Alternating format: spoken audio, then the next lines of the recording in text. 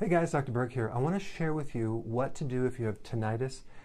It's very, very irritating to people. It's frustrating because they have this constant sound in their ears and it can really drive them crazy. But tinnitus comes from two main root causes.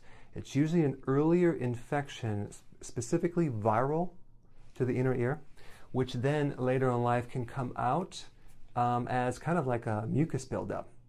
So there are natural antihistamines that you can take, and these are three of the ones that I like. Um, if you could, and I don't have any recommendations, but if you want to search on Amazon, you can find them. Uh, find a high uh, quality bioflavonoid. Okay, that's part of the vitamin C complex. Um, so bioflavonoids are really good to uh, help the, the immune system get rid of mucus. Garlic, oh my gosh, that's one of the best things for the inner ear. And you could even um, put a little drop in the ear, but I suggest consuming it. Uh, garlic is really good.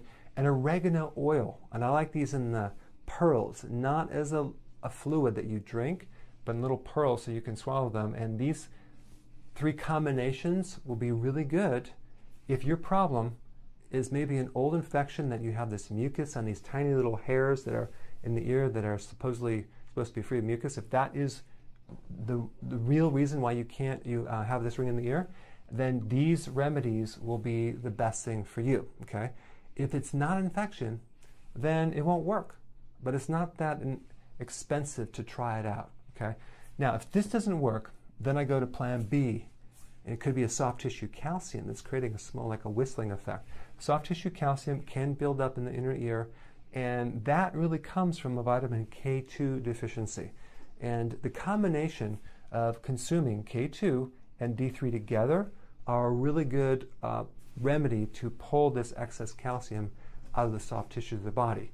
So what I recommend is get the MK7 version, that's the natural version, versus the MK4, and then get 100 micrograms uh, in each pill, and then get the D3, the 10,000 international units, okay, together.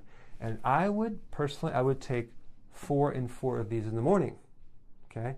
And within probably one to potentially two weeks, you should notice a difference if this is the real cause.